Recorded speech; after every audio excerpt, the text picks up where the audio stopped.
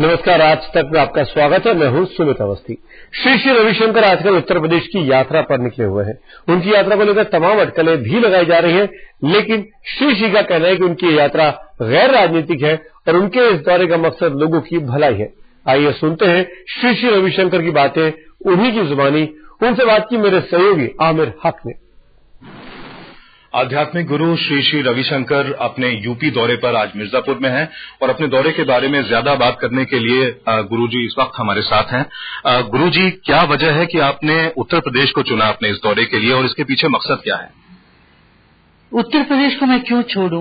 जब चौदह अलग अलग राज्यों पर मैं कर चुका हूँ यात्रा और उत्तर प्रदेश में तो झांसी से मैंने शुरू कर ही दिया फेब्रवरी से तो अभी मौका मिला यहाँ पर पूर्वांचल में आने का। पूर्वांचल में सात आठ साल से हमारा काम चल रहा है यहाँ पर। कई ट्राइबल एरियाज़ में वनवासी क्षेत्र में हमारा स्कूल भी चल रहे हैं। तो मैं दौरा करने आया लोगों के निमंत्रण से आया हूँ यहाँ। गुरु जी उत्तर प्रदेश में चुनाव होने जा रहे हैं बहुत जल्द। तो क्या इस दौरे को हम उससे जोड़कर भी देख सकते हैं? देखिए जिसके दिमाग में सिर्फ़ चुनाव ही है जनहित की कोई बात नहीं है, वो सिर्फ़ चुनाव की दृष्टिकोण से ही देखेंगे वो। मेरे दृष्टिकोण से तो चुनाव का मैंने कंसिडर किया ही नहीं है। हम तो जैसे सब जगह दौरा करें, वैसे यहाँ पर दौरे में आए। कहीं भी आप देखेंगे हमारा, कहीं भी ना कोई पब्लिसिटी में, कहीं कहीं पोस्टर में, ये तो नहीं लिखा, भ्रष्टाचार विरुद्ध आंदोलन छेड़ रहे हैं गुरु जी हमारा दिव्य सत्संग है। सत्संग का एक अंग है, भ्रष्टाचार के विरोध में बोलना। कन्या भ्रूण हत्या शराब, नशेबाजी के विरोध में, और हिंसाचार के विरोध में, जातिवाद के विरोध में, ये सब संकल्प हम दिलाते जा रहे हैं।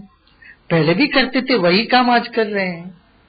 और किसी भी राजनीतिक दल हो, सांप्रदायिक तत्व हो, हमारे मंच पे कभी नहीं हुआ, ना बोलेंगे, ना उनको वहाँ पर कोई स्वागत है। जो भी हमारे पास आते हैं, वो अपना सब राजकारण को बाहर छोड़ के संप्रदायवाद को बाहर छोड़ के एक मानव के नाते आके सत्संग में बैठते हैं।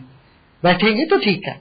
गुरु जी आपकी जनसभाओं में भारी संख्या में लोग आए हैं। ज़ाहिर सी बात है राजनीतिक पार्टियों की भी नज़र इस पर होगी। तो ऐसे में आप क्या संदेश देंगे उत्तर प्रदेश के उन लोगों को जो जल्द ही वोट डालने जा रहे हैं? मैं तो कहता हूँ कि सब लोग जाके वोट तो दो। मैं जिनको देना है वो उनकी मर्ज़ी पर है। मैं इस पर नहीं, मैं राजकारण में नहीं उतरने वाला हूँ। ये नहीं कहने वाला हूँ, फलाना आदमी को दो, फलाना को दो, मैं तो। मगर किसी दबाव पे आकर के या धन के लालच में रिश्वत लेके, पैसे दे के वोट देना पाप है, ये गलत है। ये तो मैं ज़रूर कहूँगा।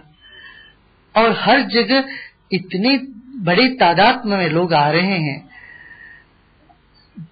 कोई 35-35 किलोमीटर चल के आ रहे वनवासी क्षेत्र से लोग। अभी हम गए थे चंदौली में, मोवा बाबा आश्रम में हमारा एक बड़ा सत्संग था। दूर दूर गाँव से ये सब लोग चले आ रहे हैं। पैंतीस किलोमीटर एक महिला ने कहा, हम अपने पूरा बच्चे को, बच्चों को सब लेकर के चले आ रहे हैं। तो एक भाव है लोगों में धर्म के प्रति, एक आस्था है अध्यात्म के प्रति। लाभ मिला है उनको। इसलिए बड़ी तादाद में आएँगे लोग।